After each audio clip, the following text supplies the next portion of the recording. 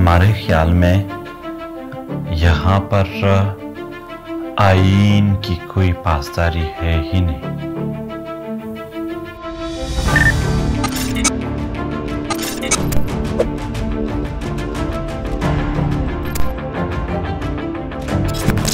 हर मुल्क में शहरियों को हुकूक आइन के ज़रिए दिलवाए। जब यहाँ आइन को फॉलो नहीं किया जाता है तो ज़ाहिर सी बात है थ्रेट्स होंगे इंसान। कि दुनिया ये कह रही है, अमेरिका, यूरोप अकवा मुतहदा वार ऑन टेरर दहशत गर्दी के ख़िलाफ़। ये पाकिस्तानी जर्नलों के पिलाए गए प्रोपेगंडे हैं। वो खुद बैरूनी एजेंट है। वो डुअल नेशनल है।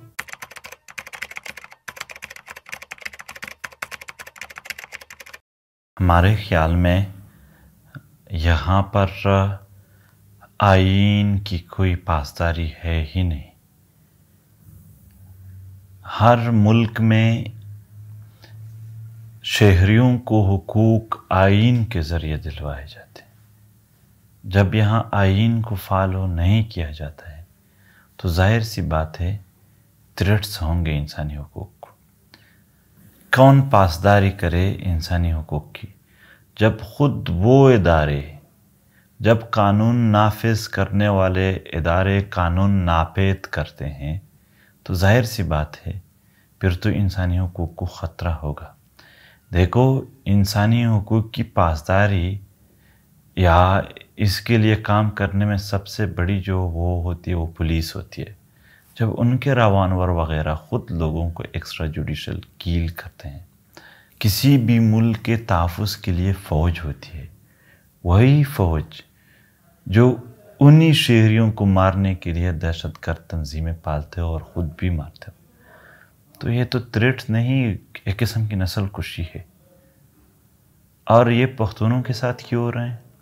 क्योंकि पख्तून एक ऐसे इलाके में रह रहे हैं जो एक गेट वे है। अफ़गानिस्तान। ये कभी रूस और अमेरिका के दरमियान, और कभी चाइना, अमेरिका, और कभी पुराने वक्तों में ब्रिटिश और अमेरिका, ब्रिटिश और रूस के दरमियान। एक किस्म के एक सैंडविच बना था, और अभी तक वो रहा है।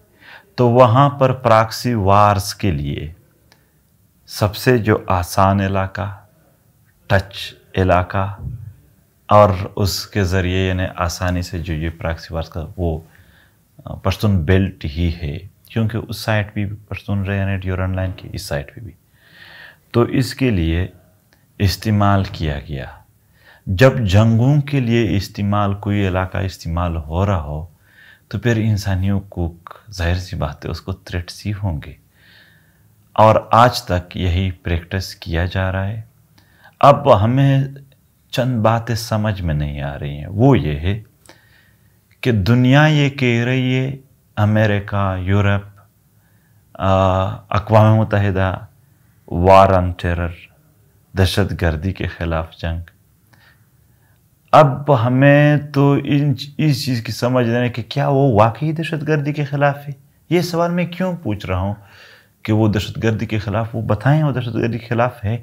अगर वो ख़िलाफ़ है तो आज तक सबसे ज़्यादा मनी पैसे, सबसे ज़्यादा असलहा, सबसे ज़्यादा अखलाकी सपोर्ट उन कुतों को, पाकिस्तान के फ़ौज को इदारों को, इन्हीं ममालिक ने दी है, जिन्होंने एक बार नहीं, हर बार ये दावा किया है कि सारे दहशतगर्द तंजीमें हमने बनाए हैं और हम इसको चला रहे हैं और आज तक उनकी वकालत कर रहे हैं। जब दुनिया खुद इसको डॉलर देते हैं, जब दुनिया इसको असलह देते हैं, जब दुनिया इसको अखलाकी सपोर्ट, अकवा मुतहदा जैसे फॉर्म मुहैया करते हैं तो फिर इंसानियों को कम हाफिज कौन हो गया? फिर तो दहशत, क्या दुनिया फिर दहशत गर्दी दहशत गर्द मुखालिफ हुआ?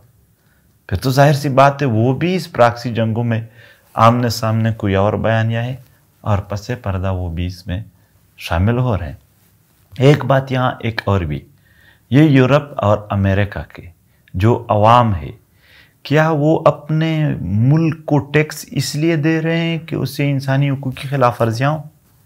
लोगों का कत्लेआम हो? वहाँ के टैक्स के पैसे, ये वो मिल रहे हैं यहाँ पर जंगों के लिए, और उस जंगों में हम तबाह बर्बाद हो रहे हैं।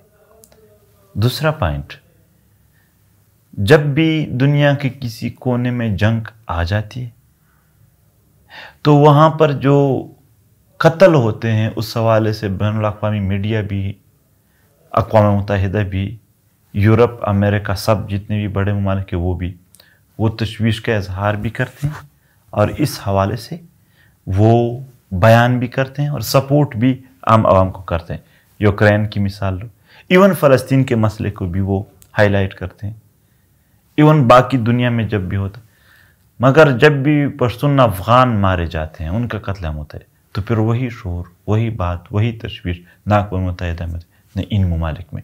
क्या ये जो उन्होंने अपने प्राक्सी वार्स के लिए एक मैदान बनाया है, यहाँ पर रहने वाले जो पश्तून हैं या अफगान हैं, ये इनको वो इंसान समझते हैं कि नहीं समझते हैं? इंसानी हकूक तो हमें तब मिलेंगे जब वो हमें इंसान तो समझेंगे। बाख्तियार लोग हैं मुख्तदर लोग हैं, दुनिया पर राज करते हैं, मगर उनमें इतनी इंसानी और अखलाकी ज़रूरत नहीं है कि वो यहाँ पर रहने वालों को एक मुकम्मल इंसान का दर्जा देकर उसके गम, उसके दुख, उसके दर्द और उसके जो मसाइल हैं, उस पर बात कर सके।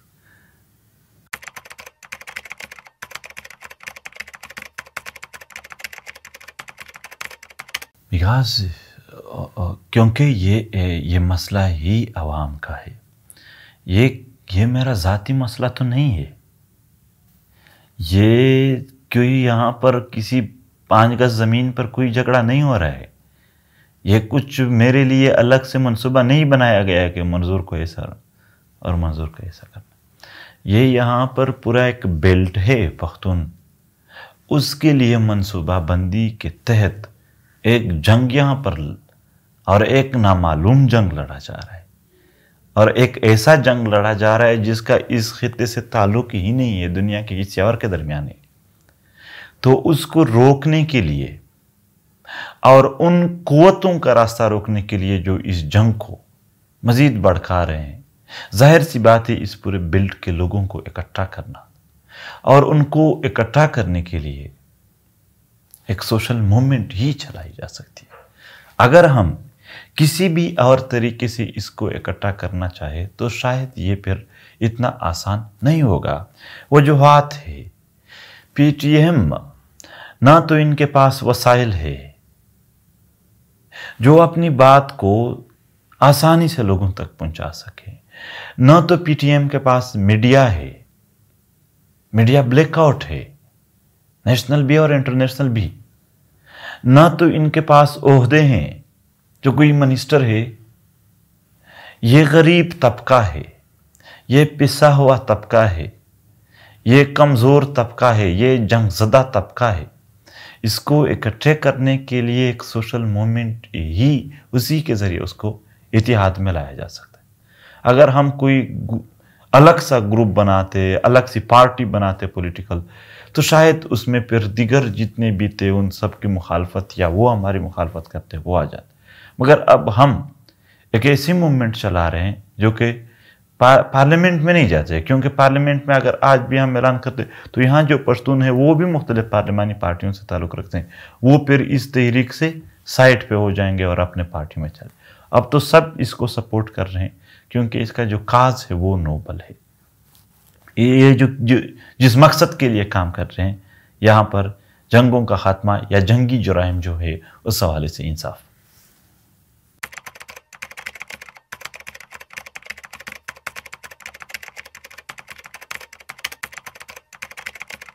मेरे ख्याल में, जब पीस ना हो तो रेजिस्टेंस होता है पीस के लिए। और जब पीस हो तो फिर तरक्की आ जाती है। हमारी रेजिस्टेंस पीस के लिए है, अमन के लिए है हमारा रेजिस्टेंस मुजाहमत और अमन क्या है?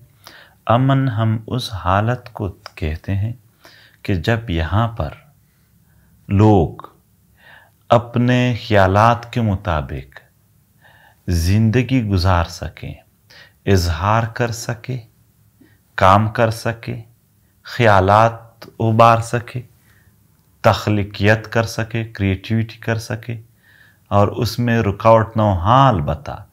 ये फ़िक्र, ये ख्यालात, ये अमाल, ये इजहार, ये सब कुछ ऐसा हो जिससे किसी दूसरे इंसान को नुकसान ना हो। एक इंसान अपनी ज़िंदगी को या अपने इलाके की ज़िंदगी को अच्छा बनाने के लिए, या पूरी दुनिया को, या इंसानियत की खिदमत के लिए जितना भी कुछ कर सकते हैं, उसको इजाज़त हो। यहाँ मसला क्या है? इजहार राय पर पाबंदी। इवन अगर कोई इस जमा हो गए कि हमारे स्कूलों का मसला है तो उस ऊपर भी लाठी चार्ज हो जाता है। कोई आ जाते हैं कि हम अमन मांग रहे हैं तो उस पर भी लाठी चार्ज अब ये कोई जंग तो नहीं मांग रहे हैं। अमन मांग रहे हैं, वो कोई और चीज़ जहल नहीं मांग रहे, तालीम मांग रहे हैं तो उस पर भी लाठी चार्ज ये इजहार राय की आज़ादी नहीं है, यहाँ पर कारोबार की आज़ादी नहीं है। ये जितने भी कारोबारी लोग हैं, इन सबसे बत्ते भी वसूल किए जाते हैं। इन सबको मतलब थ्रेट्स भी हैं, वो कोई भी ऐसे हरकत भी नहीं कर सकते। अमन के लिए भी वो नहीं बोल सकते कि कल मेरी नौकरी है, वो चली जाएगी वगैरह। यहाँ पर समाज में, इवन तालीम की हद तक पाबंदी है, औरतों पर पाबंदी है कि वो भी तालीम हासिल न करे वो मेरे ख्याल में, मेरे ख्याल में अमन माशरे में आम आवाम को ज़िंदा रहने का जो हक है, वो है। वो ज़िंदा रहे, वो अपनी ज़िंदगी के लिए बेहतर बनाने के लिए हर उस अमाल को, उसको इजाज़त हो जिसे किसी दूसरे इंसान को तकलीफ़ ना हो। यहाँ पर तो दूसरे इंसान को तकलीफ़ वाले जितनी भी चीज़ें, उनकी इजाज़त है। रावानवर को इजाज़त है। एहसान एहसान को इजाज़त है। मंजूर परसिंद अली वज़ीर जो अमन मांग रहे, उसको नहीं है। ये, यही बदमनी है। यहाँ पर बदमनी पैदा करने के लिए ट्रेनिंग कैंप होंगे, मुसल्ला अफराद होंगे, उसको लाया जाएगा और उसको पिटाया ये सब कुछ, ये होता रहेगा। इसकी इजाज़त है, ये इंतशार नहीं है। मगर उसको हटाने के लिए जो लोग सियासी तौर पर एक एहतजाज करते हैं, उसको इंतशार का नाम दे दिया जाता है। अमन मांगने के आवाज़ों को इंतशार का नाम दिया जाता है, गद्दारी का नाम दे लोगों के वसाइल लूटे जा रहे हैं। हर इलाके के अपने वसाइल होते हैं और उस इलाके की तरक्की के लिए वो काफ़ी होते हैं। मगर हमारे लोग दुनिया के तीस ममालिक ऐसे हैं जिसकी आबादी एक करोड़ से कम है। और हम डेढ़ करोड़ लोग पश्तून ये मुसाफिर हैं। क्यों? अपने वतन के वसाइल हमारे पास है ही नहीं। उस पर तो कब्ज़ा कर दिया रियासत पाकिस्तान, ले गए पंजाब। और हम यहाँ क्या करें? हम तो जाएँगे किसी दूसरे। यही बदमनी है लोगों के वसाइल लूटना फ्राक्सी जंग करना, इसको ख़त्म करना और इंसानों को उनकी ज़िंदगी बसर करने की आज़ादी देना। यही पीस है, ये अमन है। और इसको कायम करने के लिए जो भी अमाल है, वो हमारे लिए रेजिस्टेंस है, मुजाहमत है।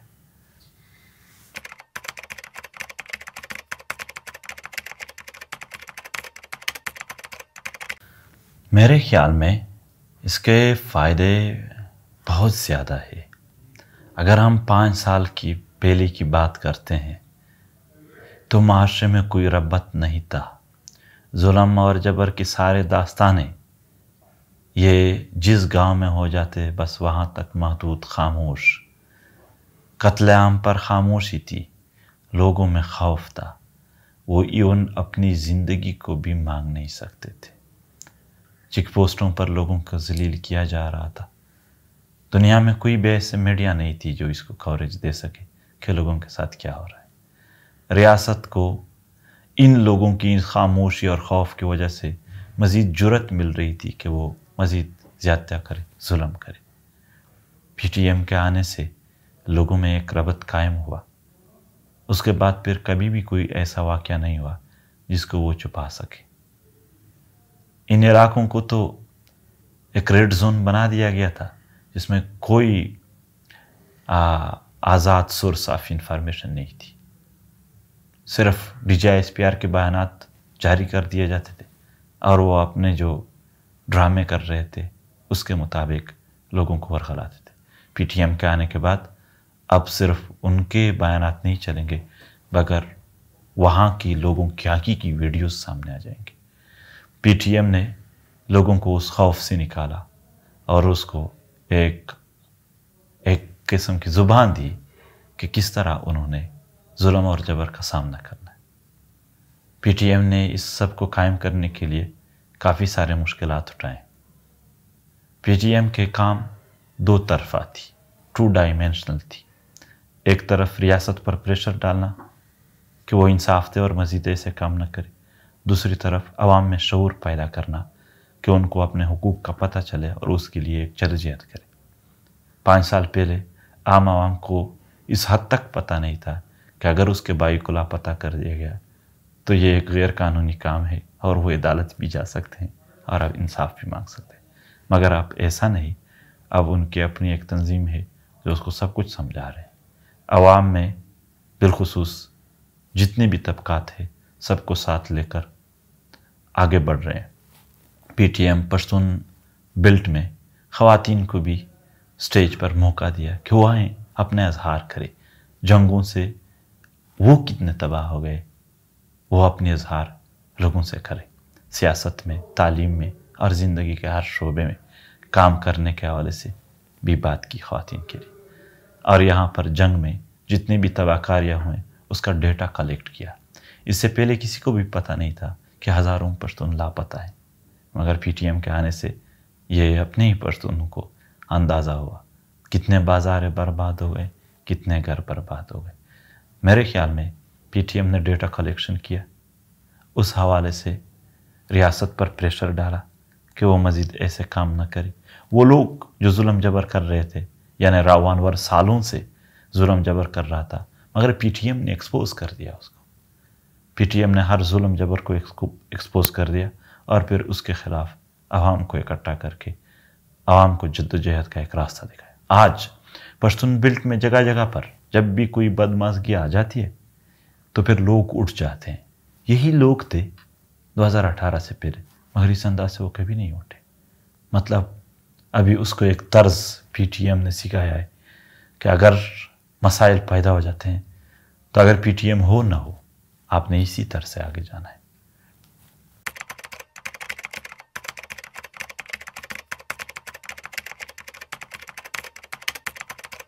मेरे ख्याल में आ, शायद मेरी बात सही हो या नहीं।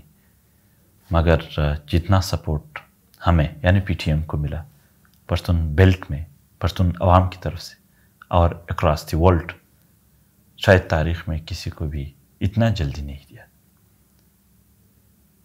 मुझे आज भी पूरा यकीन है पश्तून कौम पे, वो जहाँ भी आबाद है, दुनिया के जिस कोने में भी आबाद है, वो पीटीएम को सपोर्ट कर रहे हैं।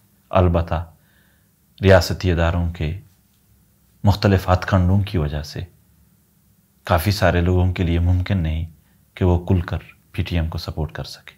मगर अखलाकी हिमायत पश्तून बेल्ट में बहुत ज़्यादा है पी टी एम को। और काफ़ी सारा एक तादाद काफ़ी एक तादाद कुल कर भी सपोर्ट कर रहे हैं। मुझे आज तक पश्तून कौम से कोई गिला नहीं है। उन्होंने हमारे काज को खूब सपोर्ट किया।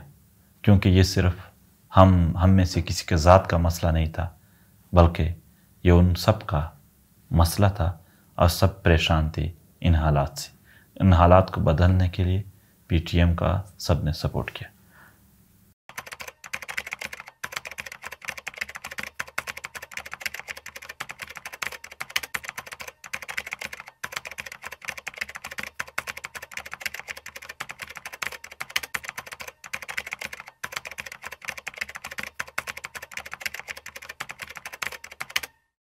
बरतानिया की हिंदुस्तान आमद, और फिर उसके बाद रूस और बरतानिया के दरमियान ग्रेट गेम के नाम से जो एक सेशन याद किया जाता है, मेरे ख्याल में उस दौर के बाद पश्तूनों को जो तकसीम किया गया, और फिर इस पश्तूनों में काफ़ी सारे नए अवामिल पैदा कर दिए गए ख़ान मलिक और दूसरे नुमाइंदे लोगों को अपने साथ मिलाना एक ऐसे रवायात कायम की गई जो पश्तूनों को ओरिजिनल नुमाइंदगी जो उनकी अपनी चॉइस थी, वो न पैदा कर सके। फिर उनकी असल, जब उनकी हकीकी नुमाइंदे नहीं रहे तो फिर हकीकी तर्जुमानी भी नहीं हो गई। जब कौम की तर्जुमानी में मुश्किल थे, नुमाइंदे नहीं थे तो इस वजह से ये कौम तकसीम दर तकसीम, और फिर इसका एक ऐसा नतीजा आया कि लोग बेगाने हो गए।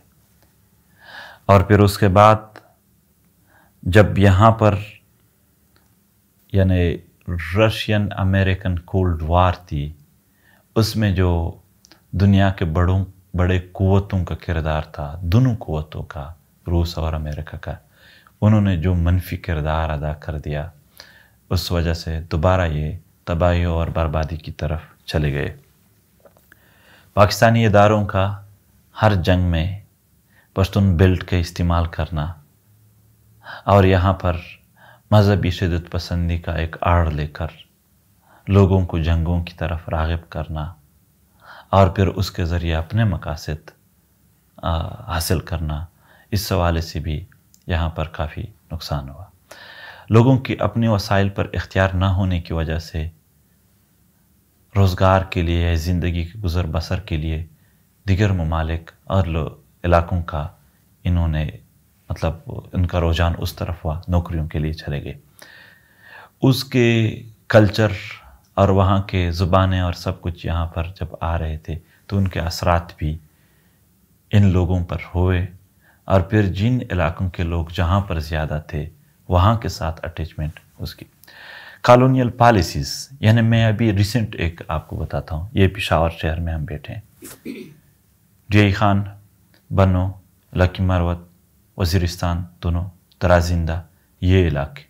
इसको डायरेक्ट अटैच कर दिया इस्लामाबाद के साथ मोटरवे के ज़रिए।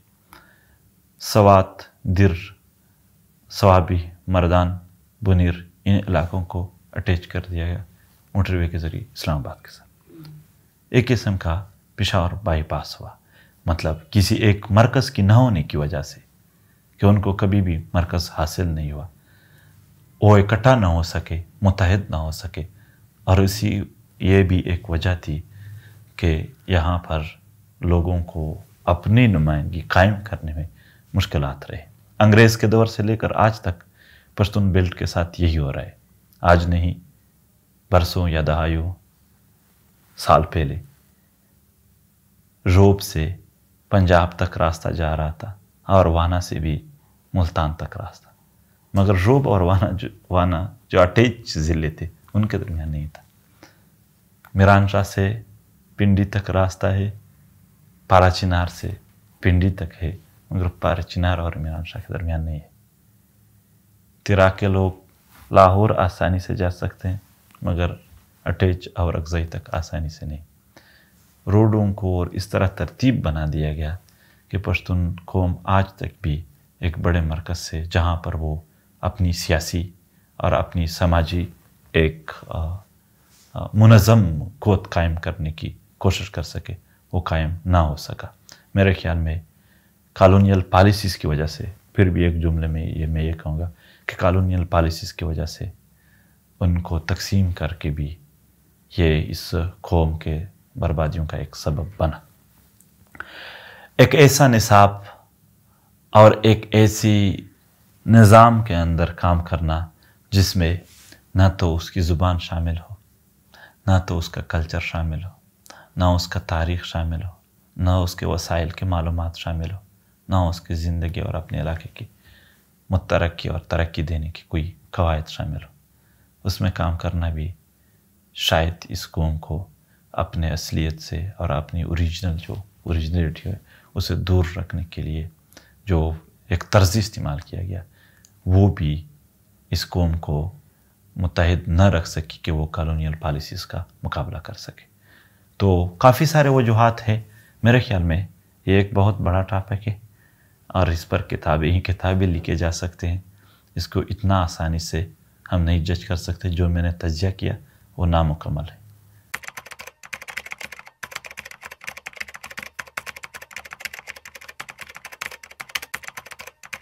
यही कि वो तकसीम रहे। उसको एक दूसरे का कोई पता ही नहीं था। एक दूसरे के दर्द को नहीं समझ सके कि वो एक दूसरे के हम दर्द बन जाए। एक दूसरे को गम को नहीं समझ सके कि वो, यानी एक दूसरे के साथ हो जाएँ। इनको सियासी तौर पर कोई एक आइडियालॉजी नहीं आई जिस पर वो कायम रह सके। इसको समाज में अपनी कल्चर के साथ भी अटैच रहने की कोई वो नहीं रही। वो ये इस तकसीम की वजह से फिर मुख्तलिफ़ जगह पर जो गेम लिए जा रहे थे, वो आसानी से हो गए। यानी वज़ीरिस्तान में वहाँ पर मुसल्ला तंजीमों को बनाने की एक काम चल रहा था। सवात के लोगों को नहीं पता था कि ये नंबर वाइज दो साल बाद हमारे इलाके तक पहुँच जाए।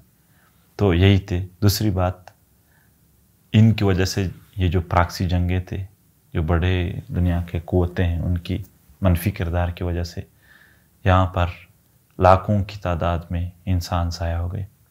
और ये गरीब इलाके हैं। एक बंदा जब कत्ल हो जाता है, ये सिर्फ़ वो बंदा नहीं कत्ल होता है, उस घर का माश भी कत्ल हो गया। और उनके साथ जुड़े जो दर्जनों रिश्ते होते हैं, वो भी गम और परेशानियों के एक ऐसे दलदल में घिर जाते हैं कि फिर ज़िंदगी के साथ वो किसी को, कोई उसका इंटरेस्ट ही नहीं रह जाता है। यूनिवर्सिटियों और कॉलेजों से लेकर दरसगाहों पर हमले। और इसकी वजह से सबसे बड़ा जो फैक्टर नुकसान पश्तूनों को मिला, सबसे बड़ा इन फैक्टर्स की वजह से, वो ये था कि हर मुआशरा जब हम सा, सैकड़ों साल पहले चले जाते हैं तो हर माशरे में माशरती उसूल, रिवायती उसूल, मजहबी उसूल की वजह से वो मुख्तलफ होते हैं। मगर फिर नेचुरल इवोल्यूशन के ज़रिए वो आगे आते हैं। यहाँ पर ये गुज्त तकरीबन डेढ़ सौ सालों से ज़्यादा अरसा हुआ। कॉलोनियल निज़ाम के बाद कि जो पश्तून माशरे का एक नेचुरल इवोल्यूशन होता है, यानी वो जो चेंजेस आ जाते हैं, वो नहीं ला सके वो। यानी 2000 के बाद पश्तून बेल्ट में तालीम की तरफ़ एक तवज्जो मगर डायरेक्टली यहाँ पर शिदत पसंदी की एक ऐसी लहर दौड़ गई कि हमारे बच्चे जो थे वो किसी और तरफ़ रागब हो गए, न कि तालीम की तरफ़। यहाँ पर जब भी नेचुरल एवोल्यूशन का एक मौका आया है तो दुनिया के कुतों ने और बशमुल पाकिस्तानी रियासत के जर्नलों ने एक ऐसा गेम खेला है कि वो नेचुरल इवोल्यूशन ही ख़त्म हो जाए और एक फेक कोई दूसरा चीज़ बनाकर लोगों के जहन में बैठा दे। ताकि वो उसके ज़रिए एक चेंज समझे वो उसको। तो नेचुरल इवोल्यूशन जब नहीं होता है तो माशरे आगे नहीं जाते। और अगर आप किसी और इवोल्यूशन के ज़रिए इसको आगे लाना चाहते तो वो फितरत के साथ, लोगों के नेचर के साथ वो मैच नहीं करते और उसकी वजह से लोगों में एक जहनी बिगाड़ पैदा हो जाते। वो हर रात, यानी अगर पूरा दिन वो किसी खुशगवार मूड में हो तब भी रात को सोते वक्त उसको ये पता नहीं होता कि ये मैं मायूस क्यों हूँ किस वजह से इस तरह की बदमजगी इस नेचुरल इवोल्यूशंस को ख़राब करने की वजह से आ जाते हैं। तो काफ़ी सारे नुकसान हुए इस कौम को। मतलब इतना कहूँगा कि एक कौम को इतना तकसीम कर दिया कि वो कौम ही नहीं रहा। वो के वो, वो रियासत कह रहे थे आप हमारी सब कुछ तस्लीम करो। मैं आपकी ज़ुबान कल्चर आपके वसाइल पर आपका जो इख्तियार होता है आपके आ, आपका हिस्ट्री आपकी तारीख आपके शख्सियत ये कोई चीज़ भी हम तस्लीम नहीं करते। यही इसके असरात फिर ये हुए कि कौम एक नहीं बन सका और वो एक कौम कौन मतलब वो कौम ही नहीं रहा फिर। तो अब पी इसलिए है कि मज़ीद और हम जो कौम की बात कर रहे हैं तासब की बुनियाद पर नहीं कर रहे हैं। दुनिया का हर इंसान हम अपने बराबर समझते हैं।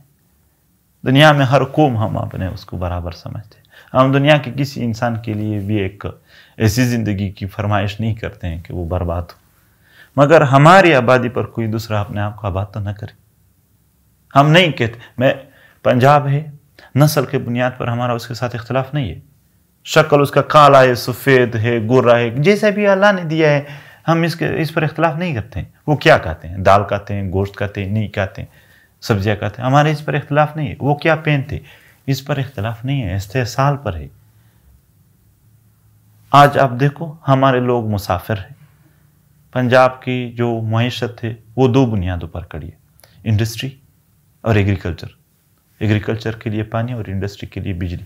ये हमसे लिया जा रहा है और हमारे इलाकों को यह कुछ मैसर नहीं है। इस्तेसाल की वजह से हम मुखालफ हम कौम की बात कर रहे हैं इसलिए कर रहे हैं कि हमारा इस्तेसाल हो रहा है। ये जो आ, मतलब रवायात है इन रवायात को तो इवोल्यूशन जो नेचुरल इवोल्यूशन होता है उसके ज़रिए चेंज का मौका ही नहीं दिया गया है। अब हम 1800 या 1700 अठारहवीं सदी या सतारहवीं सदी की बातें हैं और यहाँ पर हम मुकाबला करेंगे इक्कीसवीं सदी इक्कीसवीं सदी में कौमों के साथ, दीगर कौमों के साथ। तो यही जो यहाँ पर एक निज़ाम है, एक कॉलोनी बनाकर ये जो पश्तून बेल्ट को उनके सब कुछ से, उनके बुनियादों से दूर रखा गया है, ये तबाही और बर्बादी और एक जहनी बिगाड़ का सबब बन रहे हैं। हम एक मुतरकी कौम हैं। हम अपनी सरजमीन पर भी तरक्की चाहते हैं और हम अपने वतन के हर इंसान को ऐसा चाहते हैं कि वो इस दौर में ऐसे ईजादात करे जो पूरी दुनिया की इंसानों के खैर के काम आए। उनकी ज़िंदगी को मज़ीद सहूलत फराहम कर सके। मगर जंगों की वजह से ये तो छोड़ के हम किसी और, यानी कोई ईजाद करे। अब हम इस नेच पर पहुँच गए हैं कि पूरी पश्तून बेल्ट में कोई फैक्ट्री नहीं है कोई हुनर नहीं है। अगर दूसरे इलाकों के बनाए गए सामान हमसे हटाया गया तो हमारे लिए हम, ये कपड़े भी नहीं रह जाएँगे हमारे पास। यही इक्कीसवीं सदी में कौम को इस हद तक धकेला गया है। जब तक ये लोग मुसाफिर रहेंगे किसी दूसरे इलाके में रहेंगे मुसाफरी की अपनी एक वो होती आप वहाँ रहोगे तो आपको अपने आप गुलाम लगेगा। आप उसको फॉलो करेंगे वो लोग आपको नहीं फॉलो कर सकते। सो ज़ाहिर सी बात है, आपके कल्चर पर जब आप वापस आ जाएँगे तो असरात होंगे। एक ही गाँव में एक बंदा अरबों, अरब मालिक में काम करेगा, एक लाहौर में काम करेगा, एक सिंधियों के साथ काम करेगा, एक किसी और मुल्क में काम करेगा, जब गाँव में वापस आ जाते हैं तो एक दूसरे के साथ उनकी बातें मैच नहीं हो रही थी। तालीमी निज़ाम, एक ऐसा निज़ाम हमें दूसरे ज़ुबान में दिया जाता है कि एक नौजवान अगर तालीम याफ्ता बन जाता है या अगर हमारी वतन की कोई बहन तालीम याफ्ता हो जाती है, वापस जब अपने गाँव आ जाती है तो गाँव के लोगों और उस, ये जो नौजवान होती है हमारी बहन होती है, उसमें इतना स्पेस पैदा होता है कि न तो उस तालीम याफ्ता को ये जेब देता है कि मैं उनके साथ बैठूँ, न वो अपने आप को इस हद तक समझते कि हम उनके साथ बैठ जाएँ। ये मतलब जो नेचर नेचुरल जो चीज़ होता है, कौम को आगे लाने के लिए वो ख़त्म कर दिया गया है। तो ज़ाहिर सी बात है, फिर कल्चर क्या रहेगा? और ये जो हम प्राइड की बात की, ये जो प्राइड एक तो वो प्राइड का कहा जा रहा है कि बहादुर है, वगैरह है वगैरह है। ऐसी कुछ नहीं है, ये मैथ्स हैं। हम दुनिया के सबसे मजलूम कौम हैं। हम दुनिया की सबसे गरीब कौम हैं। हम कम तालीम याफ्ता लोग हैं। हमने हुनर नहीं सीखा है तो हमारी कौन सी बहादुरी? बहादुरी तब होगी जब हमारे वतन के लोग दुनिया की दिगर कौमों के साथ एक मतलब बराबर हो जाए, टेक्नोलॉजी में भी, तालीम में भी, सेहत में भी, हर चीज़ में वो बराबर हो जाए तो यही है प्राइड तो हमारा यही है कि हम अपनी वतन में अमन व अमान के साथ, तरक्की के साथ ज़िंदगी गुजारे। अभी तो ये कुछ है ही नहीं। और ये जो प्राइड इस्तेमाल किया गया कि आप लोग तो जंगजू हो वगैरह हो ये तो रियासत ने हमेशा यहाँ पर प्रैक्सी वर्स के लिए इस्तेमाल किया। और ये सब कुछ गलत तरीके से और उन डील करके उनसे अपने मकासद तो पूरे कर दिए और फिर आखिर में हम बदनाम भी हो गए और बर्बाद ही हो गए। आप आप, आप एक बात सोचें सिर्फ़ दुनिया में सबसे ज़्यादा दहशत गर्दी के मुतासर लोग हम हैं। पश्तून हैं। और फिर भी दुनिया में दहशतगर्द पश्तून को कहा जाता है। इस ज़माने में मैं पाँच साल की आपकी बात कर रहा हूँ। गुजशत पाँच सालों में पूरी दुनिया में सारे इंसानों को इकट्ठा करके अमन के लिए इतने एहतजाज नहीं किए हैं जिस तरह जितना अकेले ये सिर्फ़ एक पीटीएम ने किए हैं पश्तूनों की एक तंजीम। हम अमन वाले लोग हैं। और लग, लेकिन हम बदनाम कर दिया गया हमें बर्बाद भी कर दिया गया और ऊपर से बदनाम भी। कातिल वो लोग हैं, और डरा भी हमें रहे हैं। क्या आप डरो? यार, आपने कत्ल किया है, आप डरोगे। इंसाफ से, इंतकाम से इन चीज़ों मगर उनको डर नहीं है, क्योंकि यहाँ पर एक फिक निज़ाम बना दिया गया। निज़ाम है ही नहीं, गुंडागर्दी है। सिंपल गुंडागर्दी है। बिल्कुल गंदागिरी है। यानी अगर किसी ने हक बात की, कोई कानून नहीं, कोई आइन हरकत में नहीं आएगी वी गो डाले हैं यहाँ एस आई के, वो हरकत में आ जाएगी फिर। मुकम्मल गुंडागर्दी के अंदर रहकर क्या कल्चर होगा, क्या प्राइड होगा?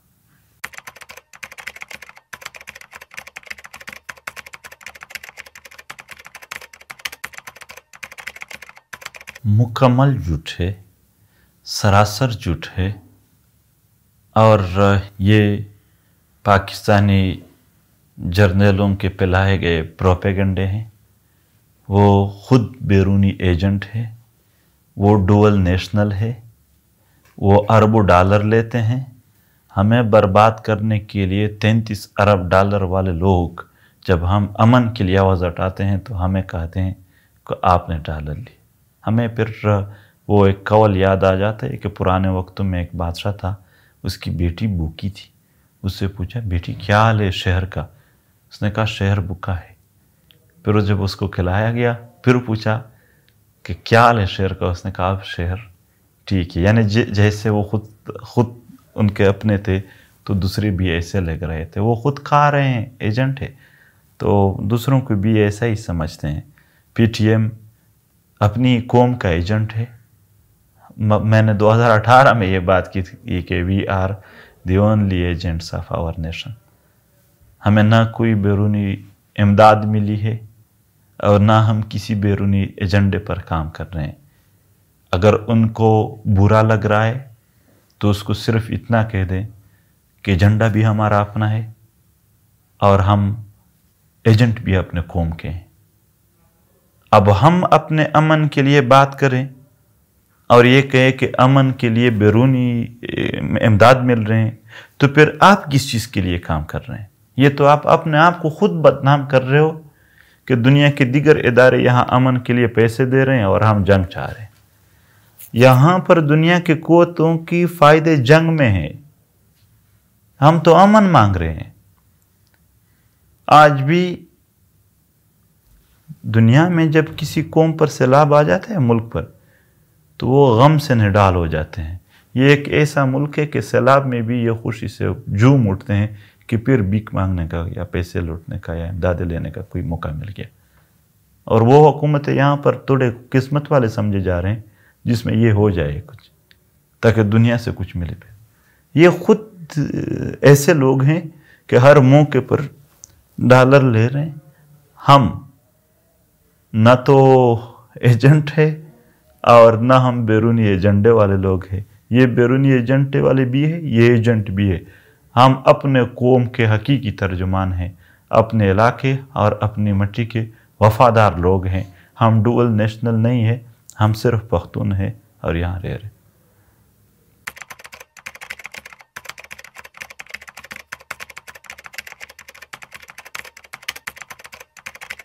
न दुनिया में किसी मुल्क ने या किसी इदारे ने फंड दी है, न ऐसे कोई हेल्प कर दी है, और हम मांग भी इंसानी हकूक रहे हैं। हमने यहाँ पर कोई जंग नहीं छिड़ी है। रियासत हमें मार रही है, हमने रियासत को नहीं मारा है। रियासत हमारा कत्लेआम कर रही है, हमने रियासत का कत्लेआम नहीं किया है। रियासत यहाँ पर जंगे ला रही है, हम जंगे नहीं ला रहे तो पैसे किसी इन चीज़ों का कौन देगा? ये दुनिया में इतने भी लोग पागल नहीं है कि यहाँ पर कोई चिक पोस्ट पर आसानी के लिए या कोई यहाँ पर कानून को और आइन को की बालादस्ती के लिए काम करे और वो एक मनफी एजेंडे समझ कर उसको पैसे दे।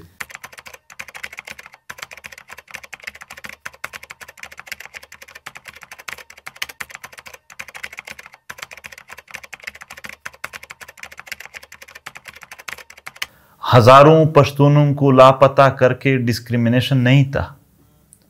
अरबों डॉलर लेकर यहाँ प्राक्सी जंगे डिस्क्रिमिनेशन नहीं था।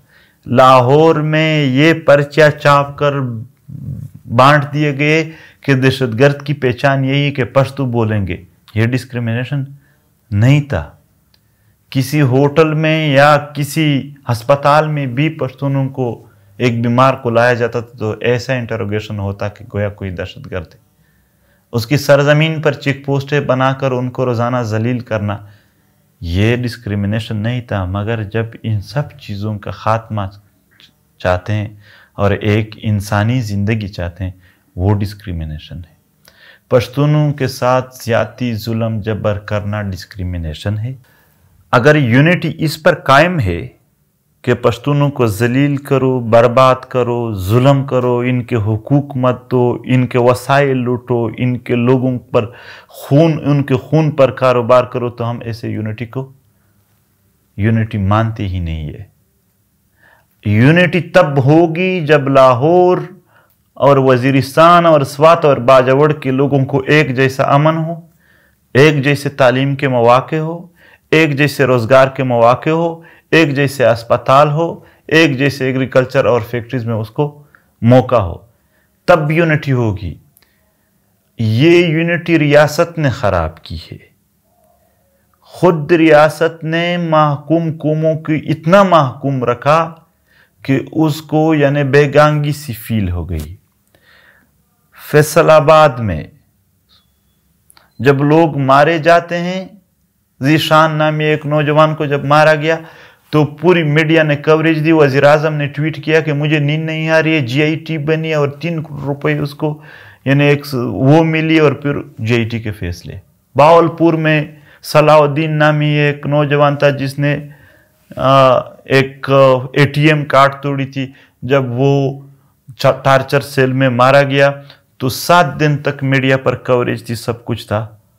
मगर यहाँ सत्तर हज़ार पख्तून मारे गए, किसी एक दिन भी उसको कवरेज नहीं मिली।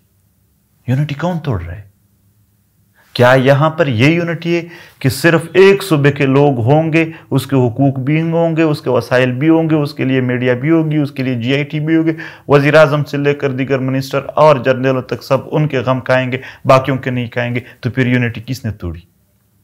यूनिटी है कहाँ जो हम तोड़ रहे हैं? यूनिटी को तो आप लोगों ने ख़त्म कर दिया। रियासत ने खुद ऐसे मंसूबे बना दिए, जिसकी वजह से यहाँ पर कोई यूनिटी रही ही नहीं है।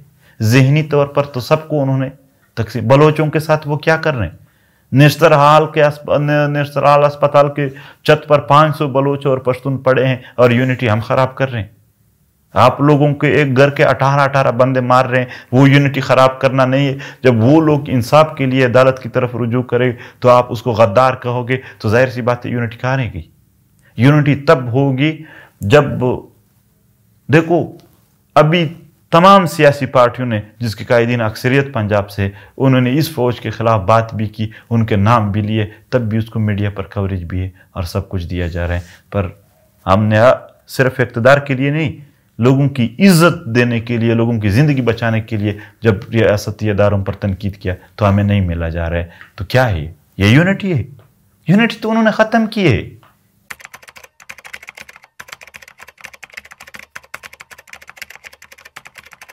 जब एक मुल्क का एक ऐसा निज़ाम हो, जब एक मुल्क का एक ऐसा इंतज़ामिया हो, जिसको सिरे से आवाम ने अवाम की राय पर नहीं आई है तो उसके मुतालिक क्या पूछ रहे हो आप? ऐसा ये जदीद दुनिया है, अवाम के राय के बगैर हुकूमतें कायम करना, ताकत के ज़रिए हुकूमतें बनाना, ये कोई तरक्की नहीं है। ख़वातीन के तालीम पर पाबंदी, ये तो तारीखियों को धकेलना है किसी कौम को। किसी कौम को तारीखियों में धकेलने का सबसे बड़ा ज़रिया है कि आप उसके खातन को तालीम के तालीम से महरूम रखें। खातन को नौकरियों से और पार्लियामान तक जाने से रोकना। वहाँ के अपना जो तारीखी एक झंडा होती है किसी कौम का, उसको न मानना। कौमों को, आम लोगों को मोहस इस बात पर मारना फायरिंग करना कि आपने गाड़ी में म्यूज़िक लगाई थी। शादी का प्रोग्राम में आपने कि मतलब ढोल बजाया था लोगों को मारना? ये कोई तरक्की नहीं है। मगर अभी भी हम दुनिया को शक की निगाहों से देखते हैं कि इन सब ड्रामे के पीछे, इन सब कारनामों के पीछे दुनिया के बड़े कुतें मुलविस हैं और अफ़गानिस्तान को खम मखा एक इस्टबलिश अफ़गानिस्तान को इन्विजन करके वहाँ की हुकूमतों को ख़त्म कर दिया गया और ताकत के ज़रिए उनको हटा कर अभी अफ़गानिस्तान का वो वो वज़ी अजम वो सदर जो वोट से आया है, वो किसी बाहर मुल्क में बेटा है, उससे कोई नहीं पूछ रहा है और जो ज़ोर से आया है उसके साथ दुनिया ताल्लुक़ बना रहे हैं। तो ये तो फिर मेरे ख्याल में तरक्की के लिए सबसे पहले इकतदार का चुनाव होता है। जब इकतदार ज़ोर से हो तो मेरे ख्याल में फिर तरक्की मुमकिन नहीं होती है और तालीम पर पाबंदियाँ, ये तो किसी कौम को तारीखियों में डालने का मुतरदफ है।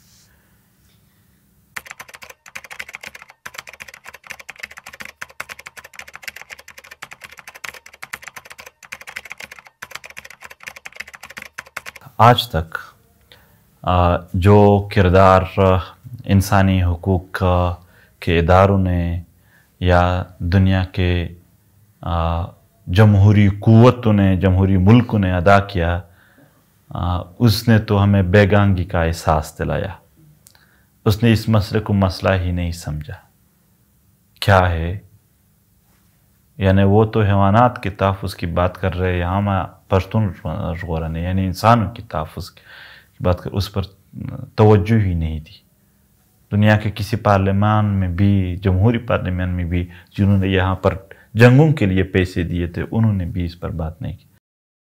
काफ़ी मायूस कन रहा है किरदार। इंसानी हकूक़ के इदारे मतलब एक किस्म के मखलूक को इंसान समझते हैं, उनके हवाले से फिर बात करते हैं, मगर ख़ुद वो इतने गैर जमहूरी है या उसकी अखलाकी ज़रूरत यह है कि हमको फिर वो सब कुछ हासिल नहीं है। आ, हम आ, हमें गिले हैं उनसे। हम आ, हमें शिकवे हैं इंसानी हकूक़ के इदारे और जमहूरी ममालिक से। हम खफा हैं उनसे कि वो क्यों पूरे इस कौम के बर्बादी के लिए तो डॉलर दे सकते थे मगर आज जब वो अमन के लिए चीख रहे हैं तो अपनी मीडिया पर एक लाइन की कवरेज भी नहीं दे सकता। हम काफ़ी खफा हैं इन सारे ममालिक और इदारों से।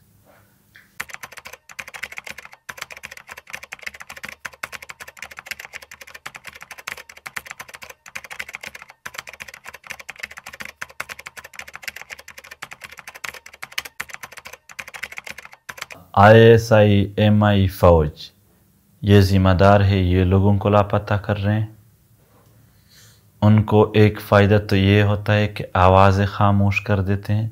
दूसरा फ़ायदा माशरे में इतना खौफ फैल जाता है एक बंदे के गायब होने से कि फिर वहाँ के जज, वहाँ के पुलिस ऑफिसर, वहाँ के दिगर इदारे, वो भी खौफ के मारे न एफ़ कर सकते हैं और न अदालत में कोई फ़ैसला दे सकते कि हम भी फिर गायब कर दी जाएँगे। क्योंकि यहाँ पर तायर दावड़ जैसे ऑफिसर्स भी गायब हो गए। तो दूसरा उनका फ़ायदा खौफ होता है। फिर खौफ जब पैदा हो गया तो वो ज़मीनों से लेकर वसाइल पर जितने भी कब्ज़े करना चाहे और अपने आप को मज़ीद यानी गैर कानूनी तरीके से अपने लिए कुछ जायदादें बनाने की सूरत तो वो आसानी से कर सकते हैं। और इस हवाले से रियासत पाकिस्तान या यहाँ पर किसी भी हुकूमत ने हमको या किसी भी एक्टिविस्ट को फैसिलिटेट नहीं किया है। अलबत् ऐसे लोगों पर जो इसको ऐसे फैसिलिटी मांगना चाहते हैं, जो मिसिंग पर्सनस की हालत से आवाज़ उठा रहे हैं कि ये गैर कानूनी काम है, ये न करो, अदालत मौजूद है, उसके ज़रिए सब कुछ करो तो फिर उनको जेलें भी हो जाते हैं। अली वज़ीर आज भी उसकी वजह से जेल में, हनीफ परसून जेल में, दीगर हमारे दोस्त आदिल शाह वगैरह जेल में, और हम सब एफ़ आई आर में हैं। मेरे शनाख्ती कार्ड ब्लॉक है, पासपोर्ट ब्लॉक, सैकड़ों एफ़ आई आर्स मुख्तलिफ़ इलाकों, कश्मीर, बलूचिस्तान कोयटा से लेकर रूप तक बुनीर और दीगर कबायली इलाकों में मुझे, मेरी जाने पर पाबंदी है और यहाँ पर बस e सी एल में है ताकि हम बाहर न जा सके। हमने कोई गुनाह नहीं किया है, कोई गलती नहीं की, आज तक किसी को तपड़ तक नहीं दिए। सिर्फ़ अमन मांगा है और मिसिंग पर्सनस को अदालत में पेश करे और वहाँ पर उसका फैसला हो जाए। अगर कोई गुनाहगार है तो सज़ा दो, अगर कोई बेगुनाह रहा कर, यही बातें किए थे।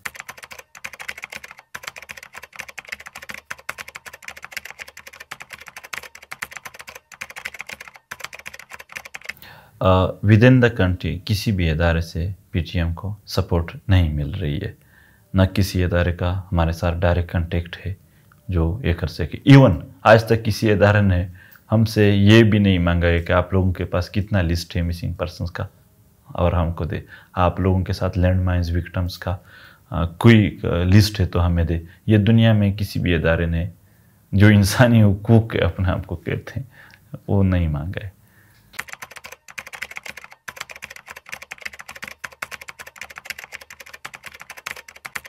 हाँ मुतमिन है। हर रोज़ सोने से पहले एक ख्याल ज़रूर आता है कि आज भी अपने हैसियत का जितना भी हम कर सकते थे कर किया वो हमने। बेहतरीन तरीके से सिर्फ़ मैंने नहीं, सारे दोस्तों ने चलाया।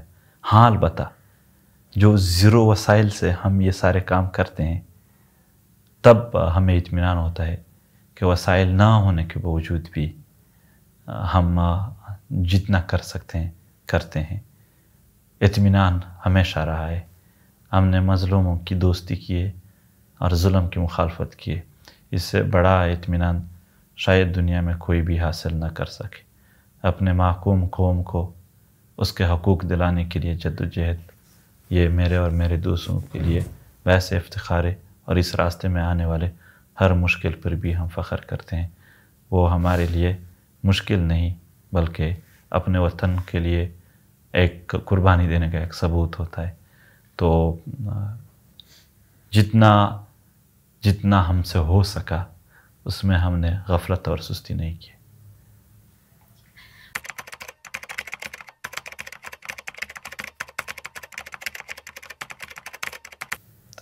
हमारी तवज्जो सबसे ज़्यादा इस पर होता है कि हम रियासत को प्रेशराइज करें और दूसरी तवज्जो आवाम में शौर लाए। शौर किस चीज़ का? शौर ज़िंदा रहने के हक़ का। शौर आवामों को मुतहद करने का। इज्तमायत पर उसका यकीन बढ़ाना। सियासी तरीके से उनके जदोजहद दिलवाने के तरीके बताना। उनको आइन और इंसानी हकूक़ समझाना। यहाँ पर मुख्तलिफ़ तबक़ात को एक दूसरे के साथ नज़दीक लाना। हम आहंगी पैदा करना, नफ़रत कम करना लोगों के दरमियान। ख़वान से लेकर बच्चों और बूढ़ों को अपने साथ मिलाकर, एक जद्दोजहद में उनको हिस्सा देकर, माशरे में उनके लिए रास्ते खोलना और डेटा कलेक्ट करना, वसाइल से लेकर मसाइल तक सब पर सेमिनार्स करना, इस, इन चीज़ों के लिए सेमिनार्स जलसे जलूस यानी पुरअमन तरीके से जदोजहद करना, ये सिर्फ़ छः महीने नहीं, बल्कि आइंदा, जितना हो सके हम करते हैं।